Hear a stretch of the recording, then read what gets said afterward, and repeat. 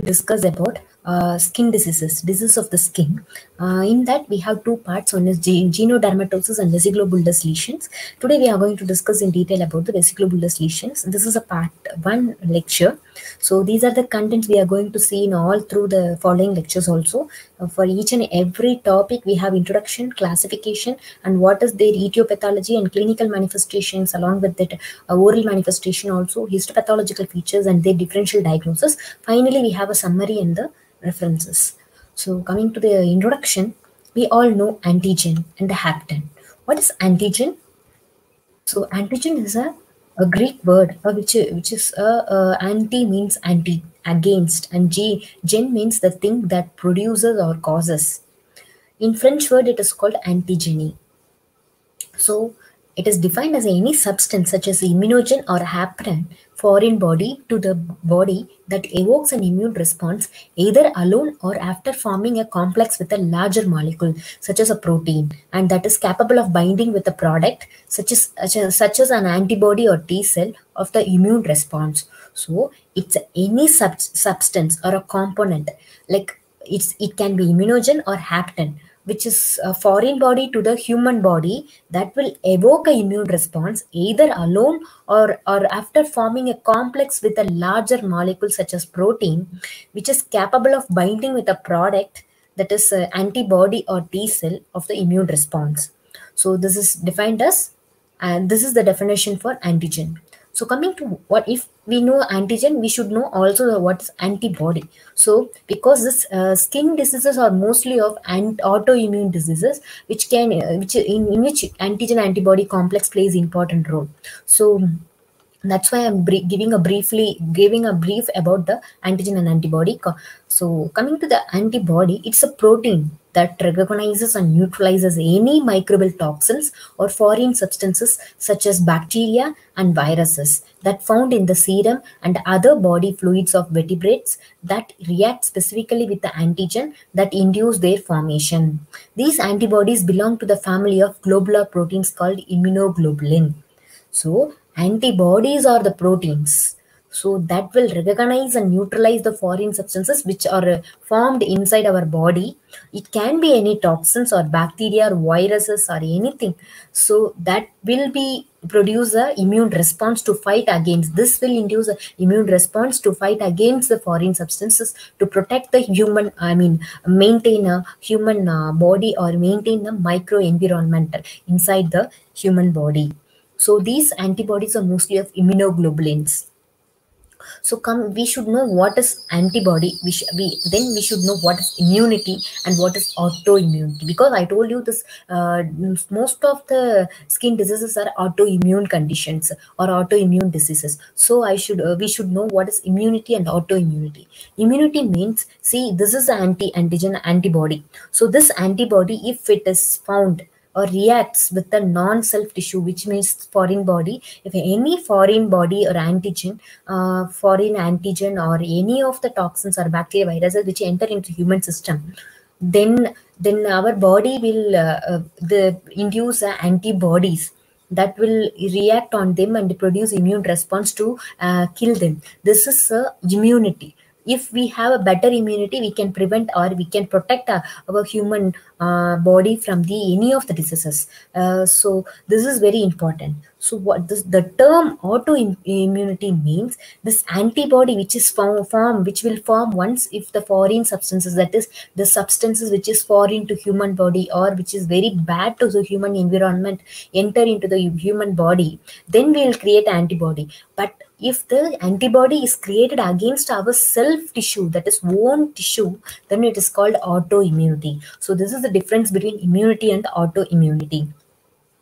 So before going to the uh, skin lesions we should know the basic uh, terms which can be used in the skin lesions or skin diseases which is we call it flat lesions elevated and depressed lesions.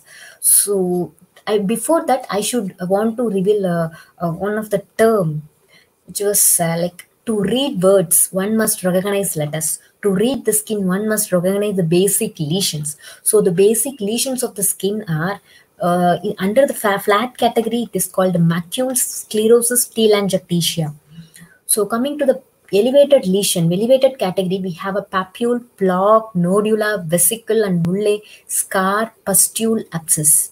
And in case of depressed lesion, it will be atrophy, ulcer, erosion, sclerosis, and sinus so these are the terms which will be which we will come across in each and every skin lesion because it can contain the skin particular lesion can contain a papular uh, growth or papule or some phase uh, for example in vesicles i mean uh, pemphigus will come across vesicles in um, bullous uh, form bullous pemphica will have a, both vesicle and bulle form or bulle form. Uh, sometimes it can be scar it can be uh, if it is infected it will induce a pustule. See, see these are the factors these are the terms or these are the um, uh, I mean, uh, lesion, lesional uh, patterns which can be uh, recognized or which can be used in every, each and every skin lesions. So that's why I want to discuss with this. I mean, start with this uh, slide second very important thing is these cell junctions because these are the cell junctions are very important which plays important role in the skin lesions because the uh, i told you the skin lesions are autoimmune. So this autoimmunity will be this autoimmunity or the uh, uh, this immunity will be against the cell junctions. Based on this uh, action whether it can be occur in the tight junction or adhesive junction or gap junctions mostly here it will be like desmosomal junction um, most mostly it will be in the um, uh, uh, desmosomes. Mostly affected cell junctions here will be the desmosomes and hemidesmosomes. And uh, because uh, these desmosomes are the uh, junctional complexes which be found between the two cells which helps in maintaining the contact between one cell and the other cell. So other hemidesmosome is the uh, this junctional complex which plays important role in uh, communicating or uh, keeping in relationship between the basement membrane and the cell basal cells. So this is uh, these are the two factors or the two junctional complexes which will be more commonly affected in the skin diseases. Because the antibodies will develop against this uh, desmosomes and the hemidesmosomes based on that we will divide the skin diseases. And coming to the basic mechanisms involved in this uh, skin diseases are first we will develop uh, the patient will have if they are having autoimmune diseases they will develop auto antibodies against their own cells. And various component of molecular apparatus that hold the, holds the cell together will form then there will be a loss of cell to cell contact or cell to cell membrane contact. This is very important stage. And clinically we will see uh, it is as a immunobullous or vesiculobullous lesion. Coming to the classification how we classify. Classification by the intraepidermal blisters by anatomical levels. We have we all know that uh, the skin layer uh, we have a four important layers, which is of basal, suprabasal, spinous, and granular and corneum layer. Among that, the granular layer, if the blisters or intradermal blisters are found in the granulum layer, the categories, it, it will include frictional blister. The lesions which will come under this category will be pemphigus foliaceus and staphylococcus scald skin syndrome, which is related to the epiderma uh, erythema multiforme. Second, if it is in the if the intraepidermal blisters is found in the spinous layer, then it is called familial benign pemphigus herpes virus infection. Then supra, if it is in the suprabasal layer, it is called pemphigus vulgaris, paraneoplastic pemphigus, and Darier disease. If it is in the basal layer, it is called erythema multiforme, lupus erythematosus, lichen planus, and epidermolysis bullosa simplex. So come again, if it is it is based on the intraepidermal blisters by the anatomical levels, that means layer histologically according to the layers of the skin. If it is in the granular layer, if we found a dermal epidermal blisters which is in the uh, granular layer, it is the cat the lesions will be frictional blister, pemphigus foliaceus and Staphylococcus scalded skin syndrome. If it is in the spinous layer, familial benign pemphigus herpes virus infection. If it is in suprabasal layer, it is called pemphigus vulgaris, paraneoplastic pemphigus, Darier's disease. If it is in the basal layer, it is called erythema multiforme, lupus erythematosus, lichen planus, epidermolysis bullosa simplex. And the other classification is based on the blisters at the dermal epidermal junction by anatomical. If it is a junctional, it is called junctional epidermolysis bullosa. That is at the, we all know that basement membrane has two parts. One is lamina lucida and lamina densa. If it is in the lamina lucida part, it is called junctional epidermolysis bullosa and bullous pemphigoid. If it is uh, below the basal membrane, basal lamina, then it is called epidermolysis bullosa dystrophicaens and epidermolysis bullosa acquisita. acquisita. So uh, we all know that I told you that this is a skin disease or mostly of autoimmune diseases. So these are the uh, autoimmune diseases which we, we are going to discuss and briefly in the following classes also in today's class and other following classes also. And uh, first topic we are going to discuss is pemphigus and pemphigoid lesions. So first topic is the pemphigus vulgaris, which is very common. And the pemphigus means in a Greek word, it's a bubble or blister. So uh, badges contained the coined the term it is pemphigus and pemphigus is a group of potentially life-threatening autoimmune mucocutaneous disease which is characterized by epithelial blistering. So it is in the suprabasal layer. If the blistering occurs in the suprabasal layer, it is of uh, the category pemphigus will be in the suprabasal layer. If it, it will have intraepidermal blister will in the suprabasal layer and it affects 0.1 to 0.5 patients per 1 lakh people uh, per year. So it is pemphigus means it's a Greek word which is bubble or blister and these Desvages uh, coined the term pemphigus and it's a group of potentially life-threatening autoimmune mucocutaneous disease characterized by epithelial blistering.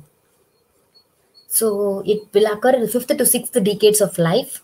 Most males and females are equally affected, but some um, the researchers are saying females are more commonly affected, and uh, genetic predilection also linked to the human leukocyte antigen class one, sorry, class two. Uh, that is a, a, human leukocyte antigen DR4 and these human leukocyte antigen uh, class 2 association appears critical to T lymphocyte recognition of desmosomal components and there are various types and its variants. So coming to the pemphigus vulgaris, uh, they have two the, variants will be pemphigus vegetans which is localized. If it is a foliase we have a very pemphigus uh, uh, erythematosus which is localized and pemphigus selvagem uh, selvagem which is endemic variant. And we have other type also which is called drug induced pemphigus and paraneoplastic which is paraneoplastic means along with some neoplastic syndromes we have a pemphigus also. It can be characterized as one of the syndromes. Uh, so it is a paraneoplastic pemphigus. So the types will be pemphigus vulgaris, foliaceus, drug-induced, and paraneoplastic. Under it has other sub subtypes also, which will be coming uh, in the following slides.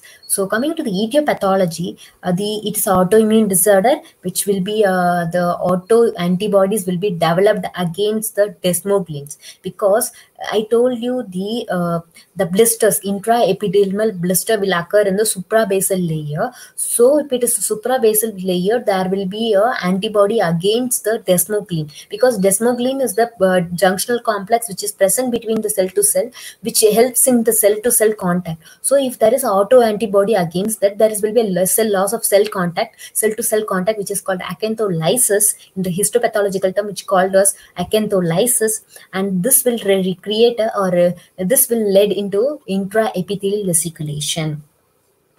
So here, imagine this is one part of the cell and this is one, one part of the cell. It will have all these proteins, desmoglein, desmocollin, and uh, prostaglandins, uh, uh, um, sorry, uh, placoglobulin and placo, plakophilin, uh, desmoplakin. These are the very various proteins which will be present within the cell and also between the two intracellular spaces of the cell. So if the antibodies are against this desmogleins, then it is a pemphigus.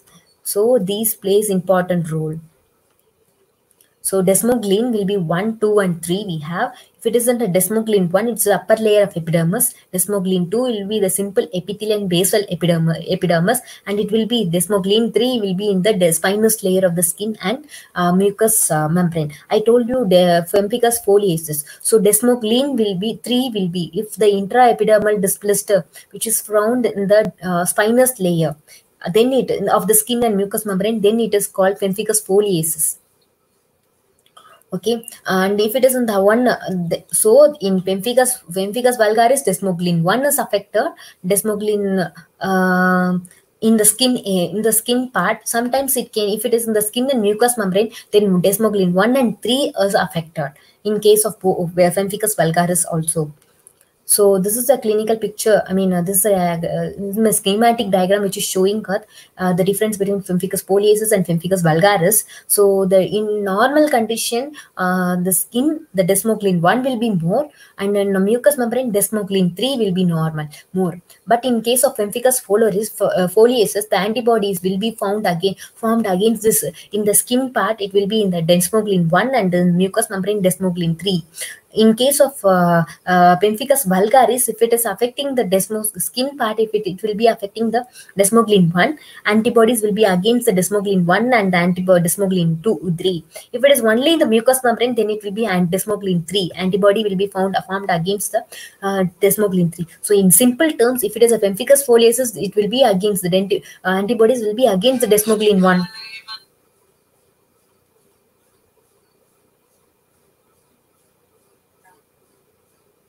Desmoglein 1 and um, so in in case of uh, uh, desmoglein Uh, in case of uh, pemphigus foliaceus, uh, that uh, antibody will be against the antibody uh, antibodies will be against the desmoglein one. If it is in the pemphigus vulgaris, then it is uh, if it is affecting the it can affect both skin and mucous membrane. So it will be like desmoglein one and desmoglein three will be affected. This is a simple simple term desmoglein one. If it is a desmoglein one alone, it is it called pemphigus foliaceus. If it is in the supraspinous layer, if it is in the suprabasal layer, it will be a desmoglein one and three if it is affected in both mucous membrane and skin. And coming to the pathogenesis, this uh, immunoglobulin class and autoantibodies against desmoglein 1 and 3 are pathogenic and antibodies autoantibodies autoantibodies for probably acts by interfering with the adhesive interaction of desmoglein and protease proteinases promotes uh, acantholysis and complex fixation promotes acantholysis. So these are the ways by which the antibodies act. One is by interfering with the adhesive interaction of desmoglein and uh, it in the it, it will induce the proteinases which will promote acantholysis and also complement fixation which will it can also promote uh, I mean complement fixation which can promote the acantholysis. So in pemphigus 1 it is desmoglein 1 and desmoglein 3 are affected. Autoantibodies will be formed against the desmoglein 1 and desmoglein 3 but in case of pemphigus foliaceus it will be desmoglein 1 so coming to the clinical presentation, uh, the primary lesion, uh, it's a flaccid blister and blister arises on normal appearing skin or on erythematous skin also. Later they erode or sometimes uh, and uh, they also erode or ulcerate and they are more painful.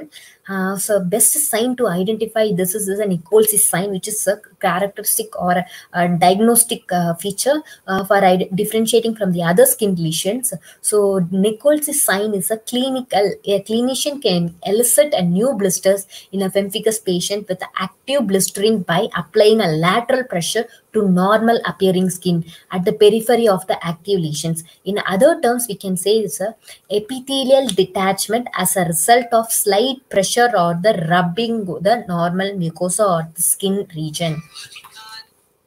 So uh, coming to the clinical picture, see this is a, a flaccid blister which was found here and giving a pressure in the lesional area, active area, we can identify a development of flesh blister in the adjacent normal skin. This is called um, uh, Nicol's sign. Sometimes rubbing, uh, rubbing also, rubbing or the pressure, it can also develop a new blisters. Um, and the oral manifestation is that it will seen in all patients. Intact blisters are very rare and fragile and they can break very easily and erosions may appear. Commonly involves buccal mucosa and patient is unable to eat or drink. So uh, it can occur in all the lesions and uh, uh intact blisters are very rare and uh, uh, fragile it uh, it will these blisters will be very fragile and break easily and the erosions may appear uh, so most common site will be the buccal mucosa. Mean, compared to the other sites, buccal mucosa is more commonly affected, and it's make the patient very difficult to eat or drink. So coming to the histopathological features, uh, we all know that it's a suprabasilar blisters. So intradermal, intraepidermal uh, blisters will be in the suprabasal layer. So we call it a suprabasal basilar blister with acantholysis. See, this is the epithelium and this is a connective tissue part. So here there is a split.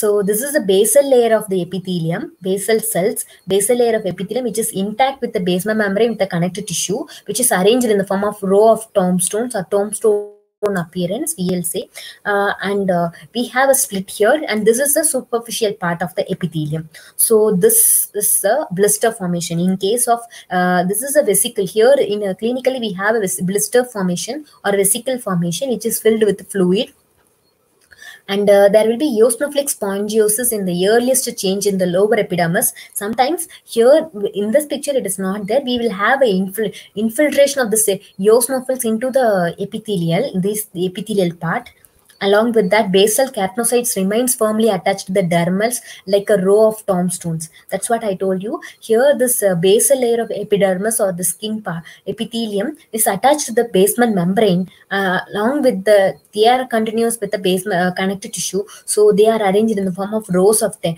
uh, tombstones and blister cavity contains a few acantholytic uh, keratinocyte cells.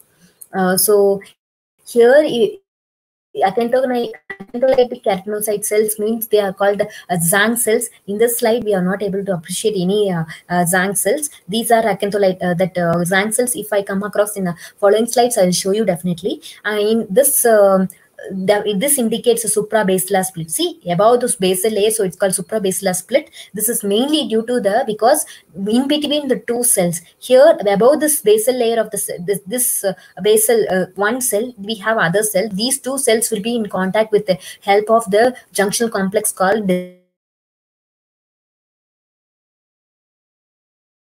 against this so it can affect the skin and mucous membrane and have uh, so this is uh, pemphigus vulgaris. Along with this, uh, so I told you what is uh, this acantholytic cells. I told you this is very characteristic feature in histopathological. This is a rounded condensed cytoplasm, cells with round condensed cytoplasm, which about enlarged nucleus with a peripherally palisading chromatin and enlarged nucleoli. I will show you the picture if I'll come across. I have in following slides, I will show you the uh, Tzanck cells, which called acantholytic cells, I'll call Tzanck cells. So this is suprabasilar split and the tombstone, I mean a row of tombs appearance along with the uh, connective tissue component. So Tzanck test, we called to identify the clinically, we to identify this as a, after this clinical examination, we will do some test which is called Tzanck test, which is a rapid demonstration of acantholytic epidermal, epidermal keratinocytes. The smear is taken from the underside of the roof of roof and from the base of the early freshly opened um, bullae are sustained and stained with the Giemsa stain. And this Tzanck cells will be characterized by degenerative changes such as swelling, swelling of the nuclei along with hyperchromatic staining. Or uh, hyper, hyperchromatic nuclei will be there see this is a histopathological slide which is showing a uh, see this is epithelial part which is a basement membrane part and this is a connective tissue component where it is a, like uh, we have a, a pseudo epithelium it is little bit which of cross section it can be a cross section of the uh, uh, slide also. Because of that there will be incorporation of that connective tissue and epithelium is there but it is a basal membrane. See this is a, one of the ready rich. So this is having um, uh, epithelial basement membrane we have a cells intact and uh, below that we have connective tissue component. Above that we have a split and we have some uh, hyperchromatic nuclei cells with a large nuclei condensed uh, cytoplasm with uh, peripherally palisaded uh, uh, eccentrically palisaded one of the cells which is of um, the hyperchromatic nuclei. This is H&E stained section so we are able to identify a um, hyperchromatic nuclei along with the condensed uh, nuclei along with the cytoplasm and this is called Tzanck cells. These are the Tzanck cells. See, this is very clear here. This is the, the hyperchromatic, round hyperchromatic nuclei, which is enlarged along with hyperchromatic nuclei, along with the uh, swell, swollen uh, uh, cytoplasm. So this is the Tzanck cell we called as acantholytic cell. This is one of the histopathological uh, diagnostic feature for identifying the uh, pemphigus vulgaris. But these Schwann cells can also be found in other conditions like uh, SLE, so lupus, uh, systemic lupus erythematosus. So to differentiate other, the again we have to go for a diagnostic. I mean, higher advanced conditions, advanced diagnostic methods like immunofluorescence. So coming back to the immunofluorescence, we have two types. One is direct and indirect. And in the direct condition, uh, this pemphigus vulgaris will show a pattern called. See, you remember this. See, this is shown as like fish scale appearance or we'll shade a fish scale pattern see the scales which will be appear on the fish so under the fluorescent microscope we'll see this uh, uh, section and uh, it will show this uh, uh, if the pemphigus vulgaris it will have a, if it is a pemphigus vulgaris the antibodies can will be formed and this uh, uh, will be shown in the form of um, fish scale pattern. See IgG antibodies will be formed which shows in the form of uh, fish scale pattern. See this is in um, same thing uh, which is showing a IgG auto antibodies so coming to the differential diagnosis of pemphigus vulgaris, it can be mucous membrane pemphigoid, uh, which is uh, subepidermal blisters, uh, which also involve the ocular, because mucous membrane can involve the oral cavities and the mucous membrane of the oral cavity, eyes also, and um, in multiforme, which is also subepidermal blisters, and uh, which the patient will have a history, family history also, and paraneoplastic pemphigus, which is the associated with some uh, neoplastic conditions like lymphoma or other malignancies like leukemic conditions or uh, any of the basal cell carcinomas and the Hailey-Hailey disease which is of the variant and it is uh, full thickness uh, acantholysis epidermal hyperplasia will also be found. So these are the differential diagnosis, differentiating lesions, differential diagnosis for the pemphigus vulgaris. One is mucous membrane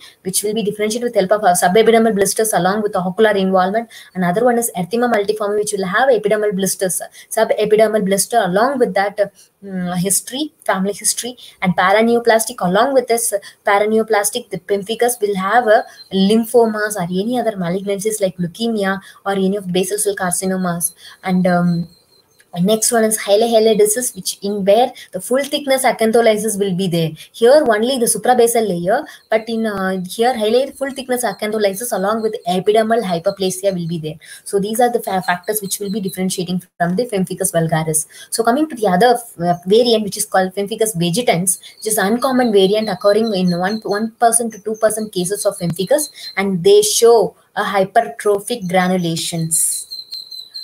Uh, so which is called vegetations. There are two types mainly, which is of Neumann type and these are the subtypes of vegetan uh, vegetants, which is of Neumann type and Hallopeau type. So pathogenesis, the presence of verrucous vegetation is very unclear, but they tend to occur in areas of reactive occlusion and maceration with bacterial infections. So coming to the different, uh, the other subtypes, Neumann type and Hallopeau type. Neumann type is uh, like they will have a the patients will have bullae and denuded areas. Here in Hallopeau type the patients will have pustular lesions. And uh, here histopathologically they will have in Neumann type they have eosinophilic spongiosis and eosinophilic pustules will be there in uh, type, numerous eosinophils and degenerated acantholytic epidermal cells and eosinophilic abscess will be there. In uh, Neumann type, we have a verrucous epidermal hyperplasia, and in case of um, Hallopeau type, we have verrucous vegetation. So these are the differentiating factors which helps in differentiating Neumann type and Hallopeau type main differentiating feature will be the bullae and the pustular lesions. So these are the uh, main clinical features. Then we will go for histopathology. So this is a histopathological feature which is showing the first one is which is showing a intraepidermal abscess uh, which is composed of eosinophils and few acantholytic cells also keratinocytes also. See there is a incorporation of this eosinophils in with along with the abscess formation. Along that we can we are able to differentiate some of the uh, acantholytic cells also. So these are the acantholytic cells. Mm, these are the acantholytic cells. And uh, this is a histopathological uh, slide which is of H&E stain slides which shows a marked acanthosis and suprabasilar uh, clefts containing eosinophils. See, this is a connective tissue component. I mean, sorry, epithelial rete ridges. Allah, below this, we have a chronic inflammatory connective tissue component. Along with that, we have a base, split in the suprabasal. See here, the basement membrane is intact with the connect basement membrane. Sorry, basal layer of the epithelium is kind of intact with the basement membrane and it's continuous with the connective tissue. But the suprabasal layer, there is a split. And again, there is a continuation with the uh, spinous layer and granular layer. But here, this uh, in between the spinous layer, between spinous layer and this uh, uh, base, basal layer, we have a split which is called um, uh, suprabasilar split, and this shows acanthosis.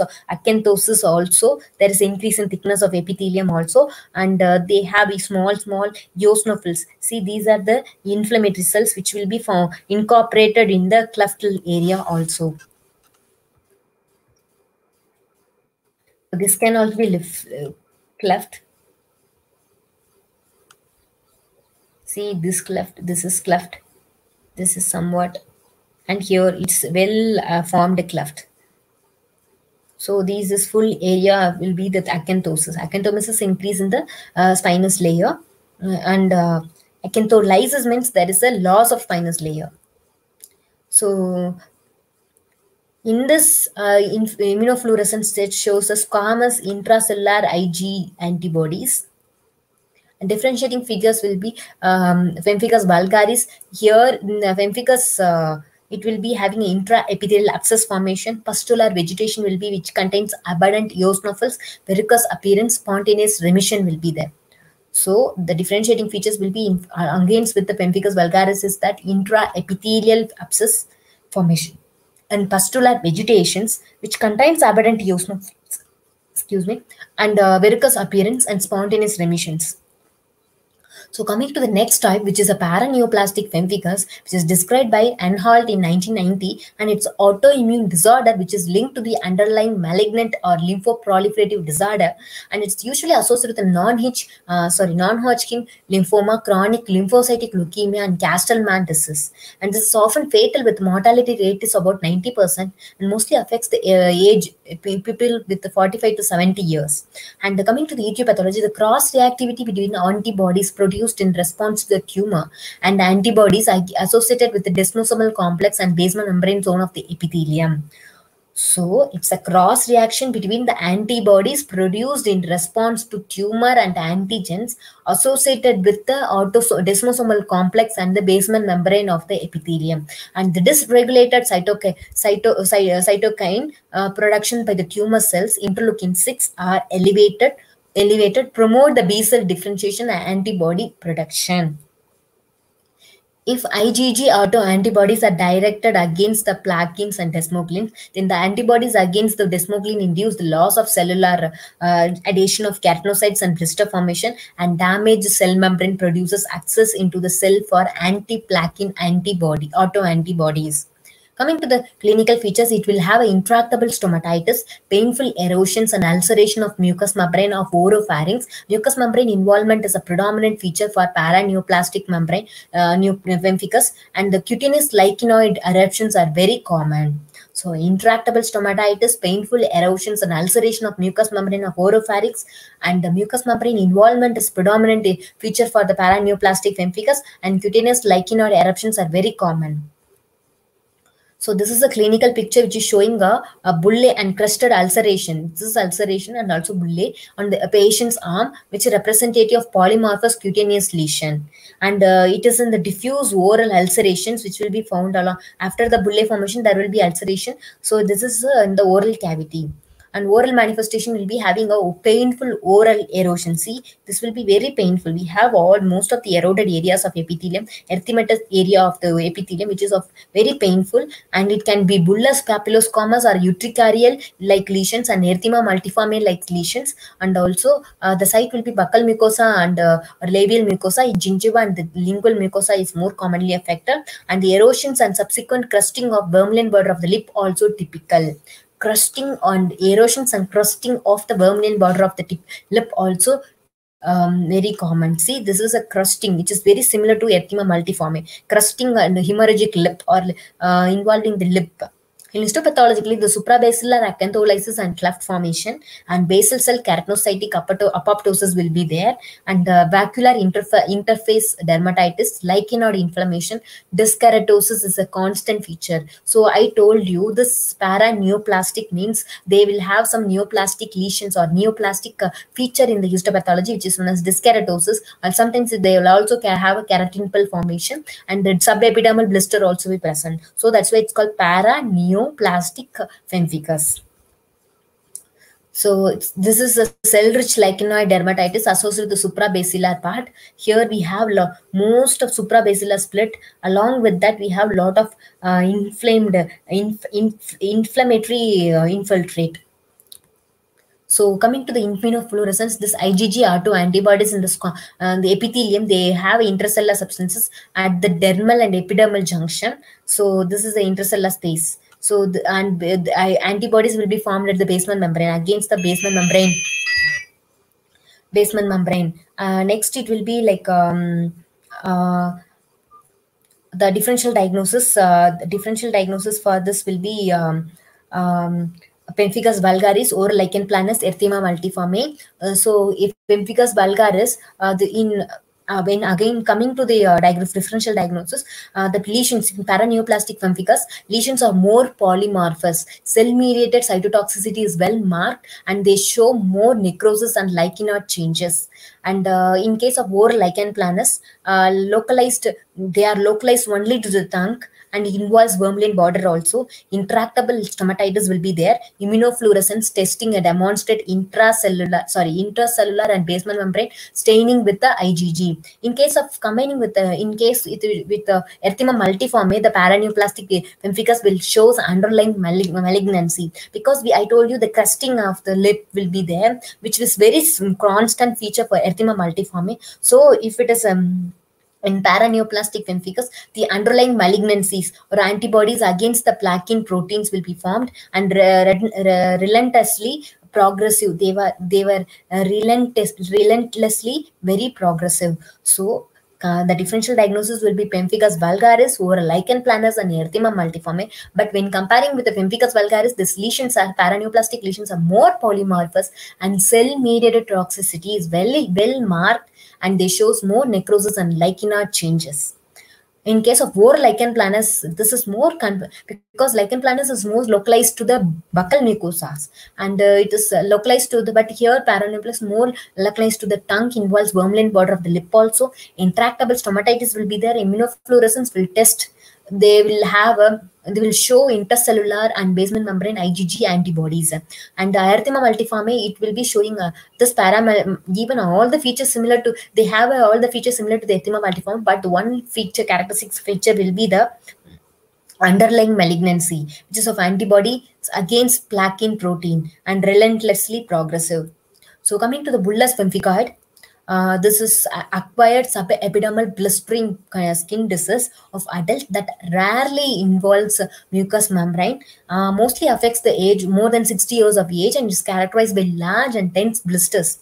Etiology will be the main uh, this anti-auto antibodies which will be formed against the hemidesmosomes because still what we have seen is a uh, uh, Pemphigus vulgaris, which is of mostly autoantibodies formed against desmosomes. But this pemphigoid, bullous pemphigoid and cicatricial pemphigoid will be formed against the autoantibodies, will be formed against the um, on hemidesmosomes. So the autoantigens involved will be the uh, bullous pemphigoid antigen 1 and antigen 2, which is of uh, antigen 1, 1 will be of 230 kilodalton and uh, antigen, uh, bullous pemphigoid antigen 2 will be of uh, uh, 180 kilodalton.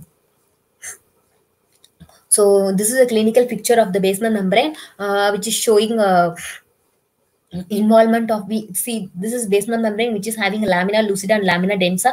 Basal lamina and this is a basement membrane and uh, they have intra intracellular clock. I told you the basement membrane the this hemidesmosome is a, a protein or junctional uh, complex which is formed between the uh, cell and the basement membrane. They are play important role. This is a cell and the basement membrane uh, basement membrane and the cell. So they uh, to maintain a contact between the syntax basilar contact between the basal cell and the uh, basement membrane we need a hemidesmosomes which is of base basement membrane antigen 180 and 230 and the plectin also plays important role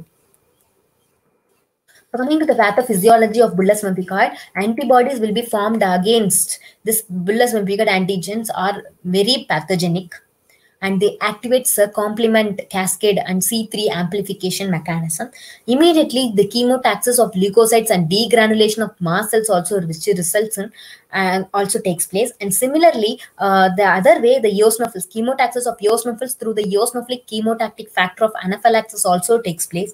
So leukocytes and mast cell protease from the degranulation of mast cells results in dermal epidermal separation. And along with there is also gelatinase that cleaves the collagenous extracellular domain of pemphigus antigen 2, bullous pemphigoid antigen 2. So therefore, finally, there will be a blister formation. But in bullous pemphigoid or pemphigoid groups, the blister will be formed as subepidermal. But in pemphigus vulgaris, it will be in a supraepidermal. I mean, uh, um, intraepidermal. But here it will be a subepidermal. Subepidermal means below the basement membrane so below below uh, in bit, uh, below basement membrane um, and uh, so its a clinical features will be large tense blisters array, arising on a normal uh, skin or on the erythematous space and the lesions appears on the low lower abdomen inner and anterior thigh and flexor uh, flexor forearm and the bullae filled with a clear fluid. Eroded skin form uh, from the ruptured blisters usually show a good tendency to re-epithelize they do not tend to expand at the periphery. Lesions of bullous pemphigoid do not scar.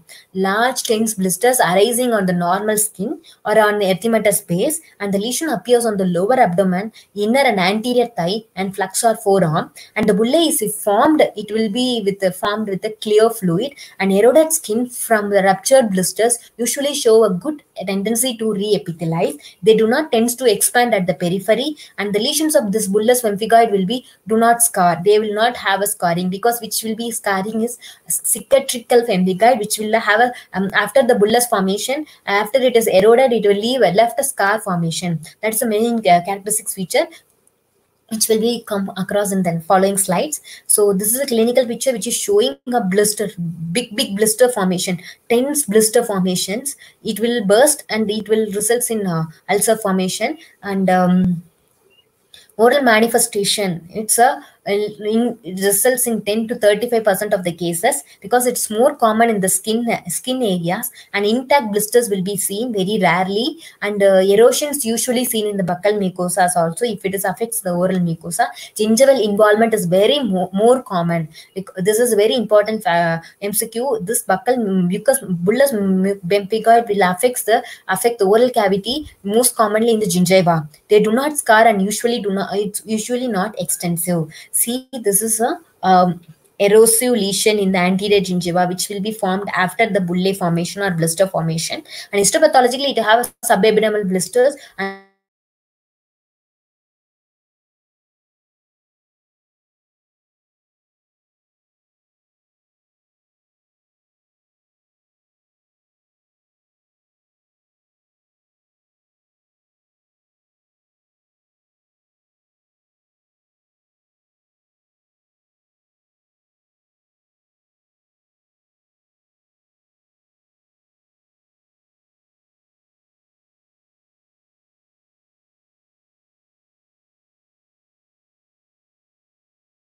dermal infiltrate which consists of lymphocytes and plasma bodies will be formed which will be in the serum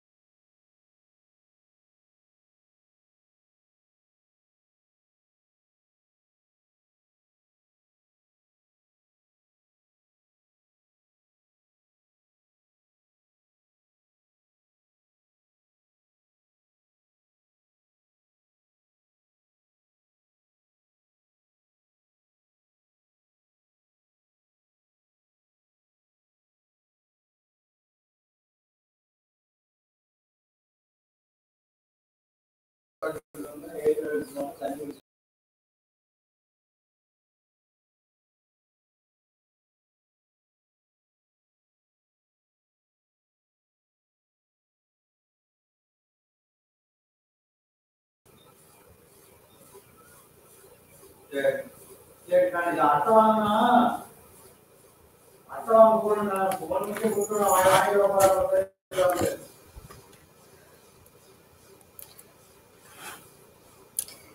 there is some com- communication problem sorry. Uh, so uh, i'm continue with this lecture. So coming to back to the histopathological uh, features uh, for the bullous pemphigoid it will have a subepidermal blister formation and superficial dermal infiltrate which consists of lymphocytes histiocytes and eosinophils. And eosinophils also seen in the blister cavity. So coming to the um, uh, clinical features we have a three variant which is of a, uh, it is this is a histopathological slide which is showing a pre-bullous phase. And uh, here we have a two variant which is of cell rich variant and cell poor variant where we, uh, we are able to identify more of eosinophilic cells and inflammatory cells uh, more of eosinophilic lymphocytes and histiocytes. But here it's very cell poor where the, we, we don't have only the epithelium split is there and connective tissue component where the inflammatory cells are very poor. Based on that based on that um, we can uh, classify it as a cell rich variant and cell poor variant. Coming to the immunofluorescence um, uh, so it is of direct indirect uh, immunofluorescence. In, the, in case of indirect immunofluorescence uh, we are able to identify the igg and c3 which is deposited in the linear pattern at the epidermal basement membrane. In and uh, anti basement membrane zone which is of igg is ige is also demonstrated in the serum of the bullous pemphigoid patients. In case of indirect immunofluorescence circulating igg antibodies basement membrane antibodies antibodies will be found. So this is a immunofluorescent uh, uh, immunofluorescence picture which is of di direct immunofluorescent uh, where we are able to identify a linear deposit of igg at the basement membrane zone along with that c3 complement 3 which is also formed in the form of linear pattern. So in case of pemphigus we have a fish scale pattern and here it is a linear pattern so coming to the um, differential diagnosis for bullous pemphigoid, uh, which is of epidermolysis bullosa acquisita and cicatricial pemphigoid. So in case of bull, epidermobullous, uh, epidermolysis bullosa acquisita, it's a non-inflammatory mechanobullous disease and uh, and it is one of the main characteristics feature is that it is very difficult even in case of immunofluorescent technique also. It's very difficult to differentiate bullous pemphigoid and epidermolysis bullosa in case of a immunofluorescence technique also. For that we will use a special technique called uh, special technique called split skin salt technique which is of immunoelectron microscopy. Uh, sorry uh, this split skin salt technique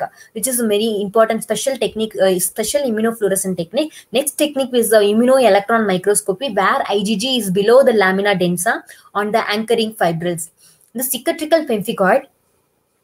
Uh, so second one is the cicatricial pemphigoid, which is a clinical manifestation which predominantly and uh, desquamative gingivitis is a common feature and inflammation and scarring of conjunctiva will be found in the cicatricial pemphigoid and there is a la in bullous pemphigoid we don't have scarring. And um, and uh, in, it, it does not involve the ocular uh, ocular or eye uh, ocular or eye component or eye mucosal membranes of the eye. or ocular ocular mucous membrane uh, then uh, large dense blisters also not seen in case of cicatricial pemphigoid. Because in bullous pemphigoid we have large dense blisters. I showed you long back in the clinical picture. See these which will be present as a large dense blisters which is more common characteristics clinical feature for the bullous pemphigoid.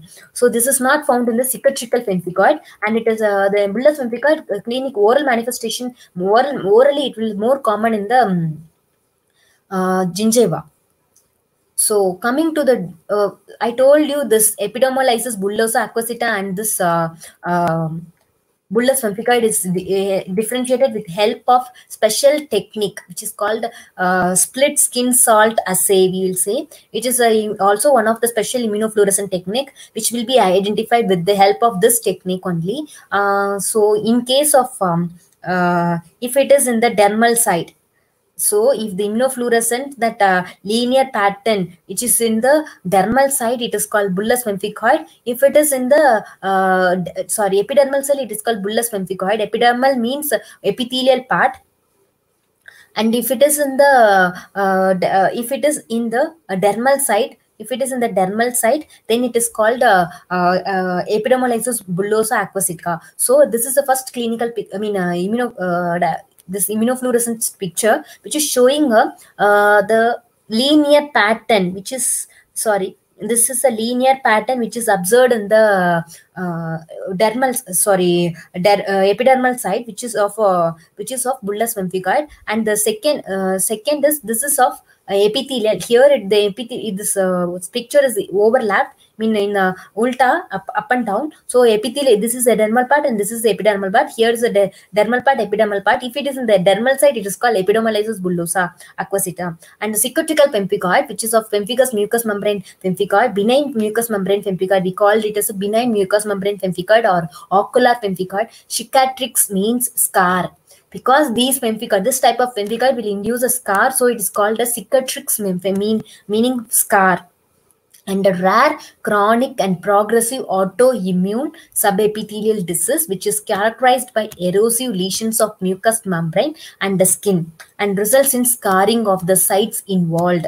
It results in scarring. So the main difference is that it is a mucous membrane involving a pemphigoid type so it is a and it will induce a scar. It will does not have tense blisters which will be seen in the bullous pemphigoid and it's a rare chronic and progressive autoimmune epithelial disease characterized by erosive lesions of mucous membrane and the skin. It occurs both in the skin and mucous membrane but more common in the mucous membrane. Very rare in the skin. But bullous pemphigoid will be more common in the skin and very rare in the uh, oral mucous membrane or mucous membrane. Here the eyes also be affected. So it is also called ocular pemphigoid and it is uh, uh, incidence will be one in uh, and 10 lakh people and uh, females are more commonly affected uh, twice times affected than the males. It is uh, mostly affected in the middle aged early to middle aged people's uh, patients. And um, etiopathology etiopathogenesis of this uh, cicatricial pemphigoid is that here the and auto antibodies involved is bullous pemphigoid antigen 1 and 2 same thing. Along with that, laminin 5, which is also called epiligrin, the antigen associated with the previously termed anti-epiligrin cicatricial pemphigoid, and beta 4 subunit of uh, alpha 6 beta 4 integrin, which is antigen is predominantly associated with ocular uh, cicatricial pemphigoid. If it is an eye, it will be the beta 4 subunit of alpha 6 beta 4 integrin will be affected. If it is in the um, associated with of any of the uh, oral mucous membrane, then it is involves, involves bullous pemphigoid antigen 1 and 2, and along with that, uh, laminin 5 or epiligrin will be affected or involved.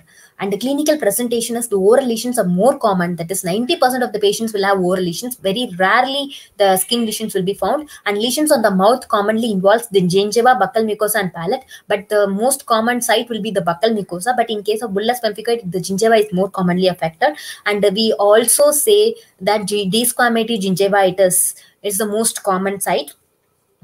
Uh, so most common characteristic feature to identify this and test dense blisters and mucosal erosions also be found but it's very rare and delicate white pattern of reticulated scarring scarring is very important. This is present here. In severe disease the adhesions may develop between the buccal mucosa and alveolar mucosa also. So in case of ocular involvement so uh, it is very common uh, sight and it's a life threatening or uh, because the eye the vision blind vision is very sometimes it can also result in loss of vision and uh, in case of ocular lesions conjunctivitis that progresses to scarring also be seen and uh, mm, Symblepharon inform- formation due to the scarring and adhesion of bulbar, bulbar, bulbar and palpebral conjunct- con- conjunctivae. So this is a condition of uh, Symblepharon formation. Um, so where there is addition of uh, bulbar and the conjunctival see? This is addition of bulbar and the conjunctival uh, pa- palpebral conjunctivae so this is one of the characteristics feature. And uh, it can also buccal mucosa and the gingiva. So in case of gingiva we will find it as a desquamative gingiva. It is not as a because in uh, bullous pemphigoid it will found in a single blister formations but here it is a like looks like a desquamative gingiva which is very erythematous gingiva uh, involving the mm, uh, generalized area generally that is will be in the localized area. And it is, a, is only affected site are the one uh, gingival tissues are only of affected sites. Results in clinically pattern known as desquamative gingivitis. See this is very erythematous uh, we call as strawberry gingivitis and uh, la- large, sometimes large irregular oral ulceration, which can characterize the lesions after the initial bulle ruptures. There will also we have a large, uh, here you can see some bulle along with some ulcerations in the palatal area also, in the gingival mucosal area also, I mean alveolar process area also. So these are the characteristic features. Histopathologically, we have a subepidermal blister, same thing. Neutrophils and histiocytes and lymphocytes are predominant in inflammatory infiltrate. There we have a eosinophils, but here it's a neutrophils. In mucosal lesions, generally lichenoid lymphocytic infiltrate with neutrophils and eosinophils will be found. New collagen bundles are arranged in a parallel bundles rather than in a haphazard arrangement.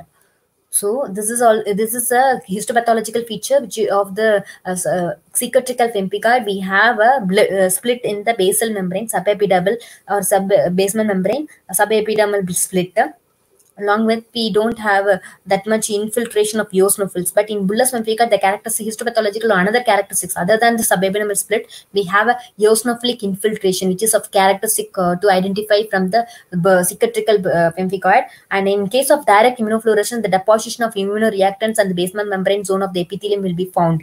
Here it will be in the formation. And the uh, here the differential diagnosis for this uh, cicatricial pemphigoid is that uh, pemphigus vulgaris which is of it can result in consequence of acantholysis. Pemphigus vulgaris will have acantholysis that is uh, loss of a sponge spinosus uh, spinous layer. And the intactness of the tightness of the spinous layer they shows immunoreactants at the surface of basal keratinocytes.